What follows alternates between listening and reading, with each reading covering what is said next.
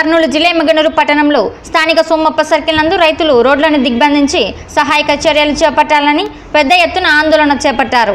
CPM CPI Janasena party ఆధ్వర్యంలో చేపట్టిన ఈ కార్యక్రమంలో ముఖ్య అతిథులుగా సిపిఎం జిల్లా నాయకులు బి రామాంజనేయులు సిపిఐ జిల్లా కార్యవర్గ సభ్యులు భాగ్యలక్ష్మి జనసేన పార్టీ నాయకులు పాల్గొన్నారు.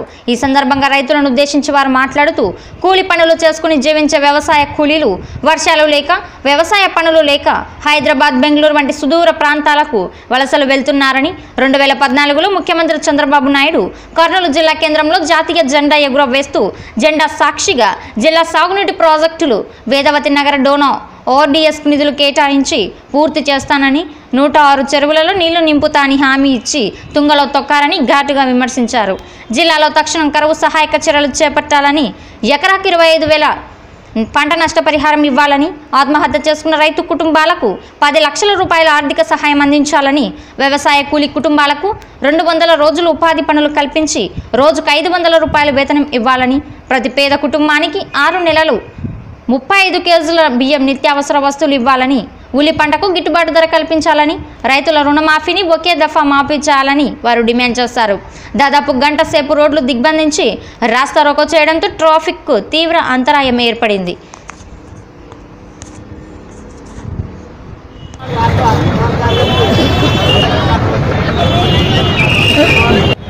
ప్రతి రైతు కుటుంబము ఈ రోజు ఇరవై ఐదు వేలు ఇవ్వకుంటే ఖచ్చితంగా గతి నిప్పే చూస్తాం కానీ గతమున్నే ప్రభుత్వం ఏ గతి అయిందో ఈ రోజు కూడా తెలుగుదేశం ప్రభుత్వం కూడా అదే గతి అవుతుందని మరి ఒకసారి హెచ్చరిస్తున్నాము రైతులకు న్యాయం జరిగేంత వరకు ఈ రోజే కేరళలో వర్షం పుల్లు వచ్చింది. కానీ అక్కడ వచ్చే నీళ్ళు కర్ణాటక అయితే కూడా ఈరోజు మొత్తం సముద్రానికి వెళ్ళిపోతున్నావు కానీ ఈరోజు రోజు ఆర్టీఎస్ కుడికాలం అవుతున్నాం పులికన్నం అయితేనే ఏదవతి అవుతున్నాం ఇవన్నీ కూడా ఆయకట్టుగా అక్కడ చేసుకునే కట్టుకుంటే ఖచ్చితంగా మాకందరికీ నీళ్ళు కూడా సర్దుబాటు రైతులకు వస్తామని నేను తాగునీటికైతేనేమి రైతు పంట పొలాలకైతే కూడా ఖచ్చితంగా వస్తావు కానీ ప్రభుత్వము ఎన్ని మాటలు చెప్పినా నిమ్మకు నీరెత్తినట్ల ఊకినే ఉంటుంది కానీ కానీ మేము మేము రైతులంతా కలిసికట్టుగా ఉండి ఈ వామపక్ష పార్టీకి మద్దతిచ్చిన రైతులందరూ కూడా మరి ఒకసారి ఖచ్చితంగా ముందుకొచ్చి మనము సాధించుకునే వరకు పోరాడదామని మేము మాలమానాడు నుంచి ఎప్పుడు కూడా మీ ఎంటుండి సహకారంగా అందిస్తామని కోరుతున్నాము.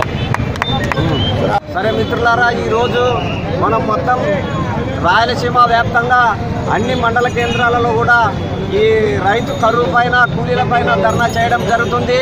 మిత్రులారా ఈరోజు మనకు ఉండేటువంటి కేంద్ర ప్రభుత్వం కానీ రాష్ట్ర ప్రభుత్వం కానీ కరువు మండలాలుగా ప్రకటించిందే తప్ప వలసలు నివారించడానికి కానీ రైతుల ఆత్మహత్యలు నివారించడానికి కానీ ఏ ప్రభుత్వం కూడా ప్రయత్నం చేయడం లేదు. కాబట్టి ఈరోజు అన్ని మండలాలలో కూడా ఈ రైతులు అన్ని రైతు సంఘాలు కలిపి ఈ ధర్నా నిర్వహిస్తున్నాము. సోదరులారా ఎనభై సంవత్సరాల వయసున్న వ్యక్తుల్ని కూడా విచారిస్తే పెద్ద మనుషుల్ని అయా ఇటువంటి కరువు మేము కూడా ఎన్నడూ చూడలేదు. ఇటువంటి కరువు మాత్రము ఈ రెండు వేల పద్దెనిమిదిలో ఏర్పడింది. కాబట్టి రైతుల్ని ఖచ్చితంగా ఈ ప్రభుత్వాలు ఆదుకోవాలి. గతంలో మనకి హెక్టార్కి పదహైదు వేలు కేంద్ర ప్రభుత్వం ఇన్పుట్ సబ్సిడీ ప్రకటించింది. కానీ అటువంటి ఇన్పుట్ సబ్సిడీ పదహైదు వేలు ఏ రైతు కూడా ఏమో కోస కూడా సరిపోదు కాబట్టి ఖచ్చితంగా మా డిమాండ్ చేసేయడం అంటే రైతు సంఘాలుగా ఎకరాకి ఇరవై ఐదు వేలు ఖచ్చితంగా ఇవ్వాలి. రైతుల యొక్క ఆత్మహత్య నివారణ కూడా నివారించి వలస కూలీలను కూడా నివారించాలని ఈరోజు మేము ఈ యొక్క కార్యక్రమాన్ని చేపడుతున్నాము. కాబట్టి ప్రభుత్వాలు కథలు వస్తే సరిపోయింది. లేదంటే మాత్రము ఇది ప్రారంభం మాత్రమే రాబోయే రోజుల్లో మాత్రము ఇంకా ఉధృతం చేసి కూడా ఈ రైతులకు కూలీలకు సహకరించేటువంటి ఈ ప్రభుత్వాలని గద్దె దించేంత వరకు కూడా మేము పోరాటాలు చేస్తామని అన్ని రైతు సంఘాలు కూలి సంఘాలు కూడా కలిసి ఈ హెచ్చరికలు చేస్తున్నాము మిత్రులారా.